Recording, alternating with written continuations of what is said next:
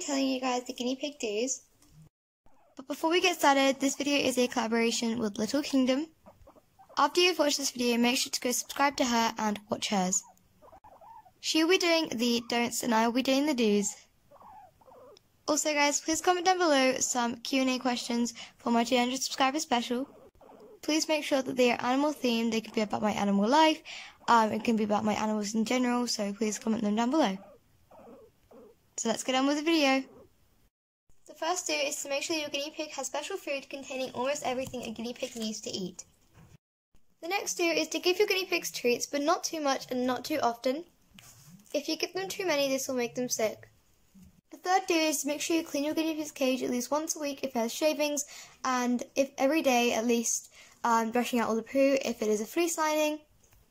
If your guinea pig has a litter tray, you need to make sure that you freshen it up every day and give them clean hay or whatever you have inside. The fourth do is to make sure your guinea pig has hay every single day. They need hay because it contains the high fibre content that they need. It also helps their ever-growing teeth. The fifth do is to keep your guinea pigs in pairs. They will be much happier and if they're single then they get really stressed and that can affect their health. The sixth do is to make sure guinea pig has fresh vegetables every single day. The seventh and final do is to make sure guinea pigs have lots of toys and entertainment. This could be ranging from a ball with a bell inside, or even chew toys like this or this. This will stop them from getting bored and at least they have things to play with.